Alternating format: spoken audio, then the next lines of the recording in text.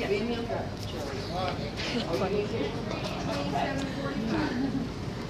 guys want hot sauce and crackers? Do you want crackers, man? Yeah.